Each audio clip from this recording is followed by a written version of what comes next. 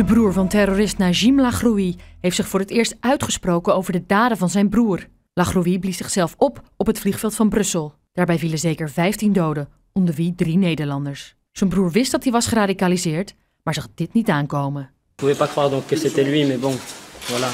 Comme euh, mon avocat l'a dit, euh, on ne choisit pas sa famille. Un garçon gentil et surtout intelligent, mais sinon, voilà, c'est ce que je retiens de lui.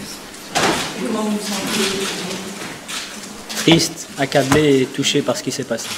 Est-ce que vous vous souvenez de M. Abaoud ou de M. Abdeslam? Non, jamais, ça jamais. Il a besoin de comprendre. C'est fini, j'essaie de tourner la page, j'ai pas besoin de comprendre. Ce qui est fait est fait.